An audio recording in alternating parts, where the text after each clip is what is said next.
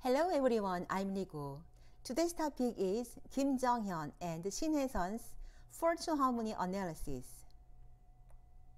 There has been a request for fortune harmony between Kim Jung-hyun and Shin Hye-sun, who are so good at acting.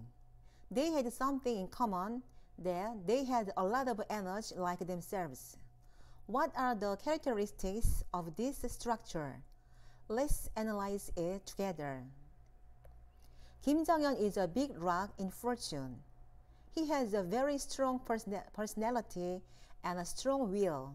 Shin Hye-sun is the rain from fortune. She is sensitive and very soft-hearted. Kim Jung-hyun has two letters that mean popularity in his fortune. He is good at acting, but the reason why he is popular with people was also in his fortune. Shin Hye-sun's fortune is very surprisingly good and starting new things, and she was uh, strongly established in her fortune. In the fortune structure, all three letters are at the bottom signify a new beginning. Shin Hye-sun will make a great start when she needs to change her direction in her life.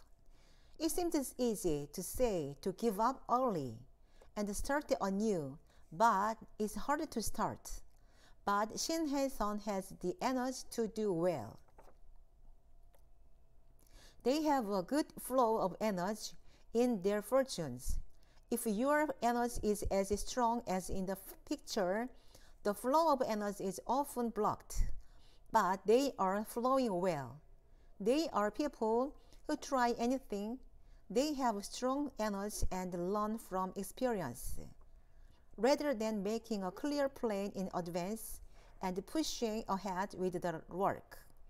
It also changes the plan by making changes in the middle as it starts and pushes ahead with the work. They are person who tries it first. They are person, people with a strong drive and self-esteem. Kim Jung-hyun is a structure in which a powerful ego flows into artistry and shows great acting. But there are no letters for women. Therefore, take a good look every year and meet a good person in the year when you can meet a person, a woman. However, there is energy equivalent to children. Shin Hye-sun has the energy that correspond to a man. However, there is no energy equivalent to children.